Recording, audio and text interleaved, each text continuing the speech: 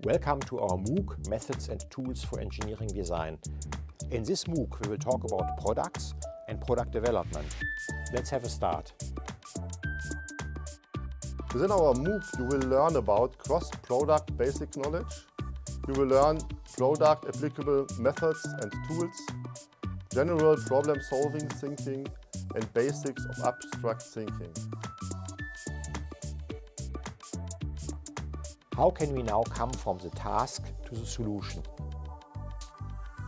So today I will show you the definition of a method and a tool. Development of a new engineering product is a process that leads to unique results. If you are interested and want to know more about this approach, join us the following weeks and participate in our MOOC.